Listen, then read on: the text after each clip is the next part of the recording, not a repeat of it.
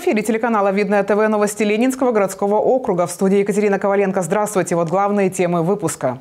Глава Ленинского городского округа Станислав Катров встретился с жителями в формате выездной администрации. Жители вот этих локаций нас э, очень часто спрашивали про ремонт Володарского шоссе. Вот показываю фотографии. Вчера приступили к ремонту. Врачи напоминают о важности проведения прививок против пневмококковой инфекции. Вакцинация от пневмококковой инфекции уже включена в национальный календарь с 2014 года, с января. Заряд бодрости и хорошего настроения в Центральном парке прошла программа «Физкульт. Привет». Сегодня мы с детишками будем делать зарядку, веселиться, прыгать и танцевать.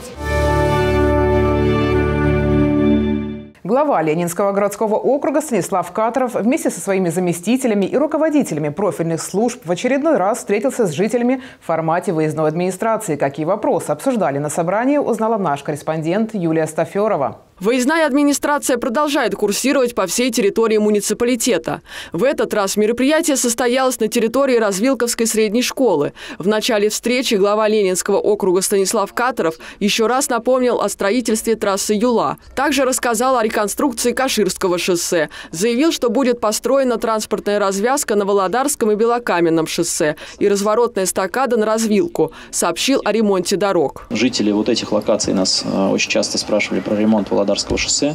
Вот показываю фотографии. Вчера приступили к ремонту Володарки.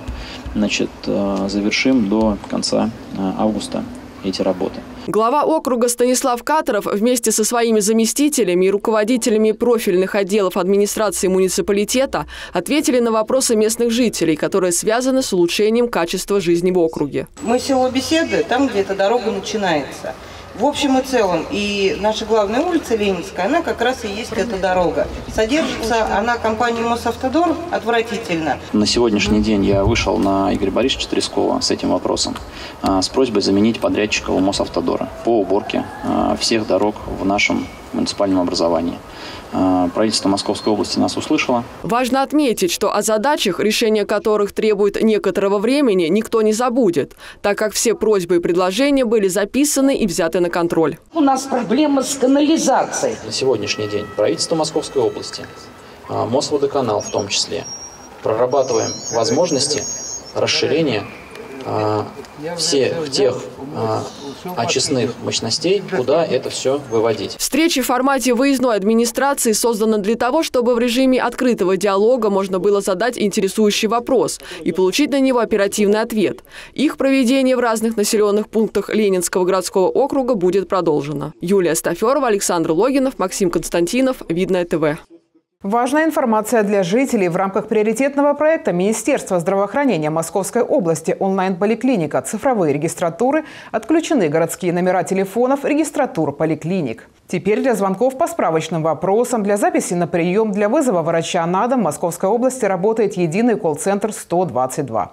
Также информацию вы можете найти на официальном сайте своей медицинской организации в личном кабинете, обратиться на горячую линию главврача, а в некоторых случаях в своей страховой компании или территориальном фонде ОМС региона. В современном обществе вакцинация играет значительную роль в сохранении здоровья людей и снижении заражения различными болезнями. Сезонные прививки от гриппа для многих стали уже привычной процедурой, но врачи напоминают о необходимости прививаться от еще одной группы заболеваний. Пневмококковая инфекция является одной из главных причин детской смертности даже в развитых странах. Впрочем, опасны они и для взрослых. Пневмококковая инфекция, которая вызывает э, менингит, отит, пневмонию, бактеремию и так далее. Это очень серьезные э, последствия организма и в результате чего даже может привести к летальному исходу. Поэтому э, я как врач рекомендую прививаться. О безопасности детей позаботилось государство. В Российской Федерации прививки против пневмококковой инфекции проводятся детям до одного года и далее. Вакцинация от пневмококковой инфекции уже включена в национальный календарь с 2014 года, с января. И э, эта вакцина прививает э, детям с двух лет до пяти лет.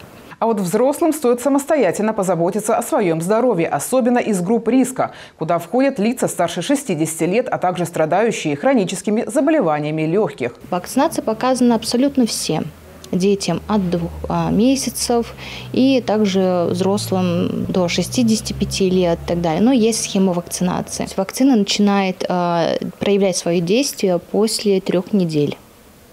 и сохраняется до 5 лет.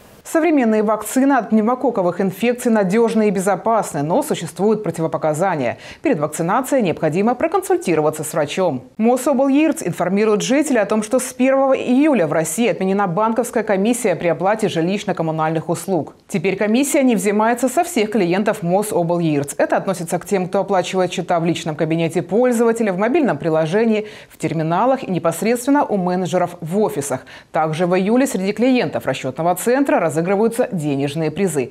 Для этого необходимо полностью оплатить коммунальный счет через систему быстрых платежей с помощью любого удобного канала оплаты. Участниками розыгрыша клиенты Мособлирт становятся автоматически. В Центральном парке прошла программа «Физкульт Привет». Ребята с удовольствием делали разминку и участвовали в конкурсах на ловкость и смекалку. Заряд бодрости получила и Инга Инчук. Что необходимо для бодрого начала дня? Конечно, разминка, которую лучше всего делать на свежем воздухе. Здесь, в Центральном парке, ребята уже активно разминаются. И это естественно, ведь их ждет активная программа. Сегодня мы с детишками будем делать зарядку, веселиться, прыгать и танцевать. Дети всегда очень рады нашим программам. Мы танцуем, естественно, они веселятся. Ребята с задором прыгали и танцевали вместе с полосатым другом. Увлекательная программа подняла настроение не только детям, но и их родителям. Мне всегда очень нравится, весело. Дети счастливы, дети довольны. Прекрасно, весело для детей. Все участвуют. Вон моя тоже маленькая, два годика. Тоже интересно очень. Это как бы нестандартная прогулка на детской площадке. Что-то интересное, ведь создает настроение. Нравится ли тебе программа сегодняшняя? Да, очень. Я постоянно хожу в этот парк. Он самый лучший. Программа очень хорошая, самая лучшая в этом городе. А что тебе больше всего нравится? Мастер-классы, танцы, все, все, что здесь проходит. Такое утро можно действительно назвать добрым. После программы в Центральном парке ребята проведут оставшийся день полными сил и энергии. Инга Янчук, Евгений Бех, Максим Константинов. Видное ТВ. Партийный проект «Здоровое будущее в действии» представители партии «Единая Россия» провели в детском саду «Бобренок» спортивное соревнование. Такие мероприятия приносят массу положительных эмоций и учат детей работать в команде. Федеральный проект «Здоровое будущее» направлен на укрепление здоровья всего населения, как взрослых, так и детей.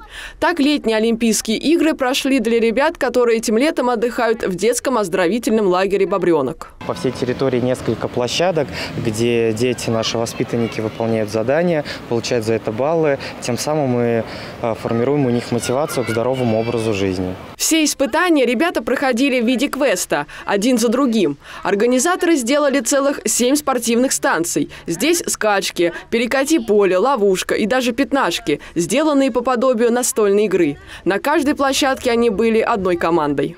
Кирилл! Кирилл! Кирилл! Вот здесь и сплочение команды, потому что они помогают друг другу, тем более в пятнашках. У них взаимодействие должно, контакт друг с другом. Вот. Также спортивная направленность, да, так как они двигаются. Ну и, конечно, оздоровление. Занятие физической культурой и формирование здорового образа жизни важно с самого раннего возраста. Не случайно судьями на местных Олимпийских играх стали активисты молодой гвардии. Как ваша команда называется? Только очень дружно.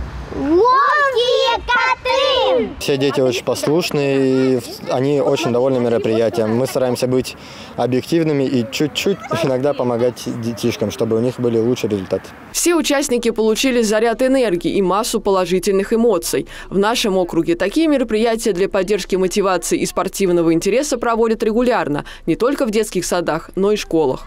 Юлия Стаферова, Евгений Бех, Максим Константинов, Видное ТВ. И это все новости на сегодня. С вами была Екатерина Коваленко. До новых встреч!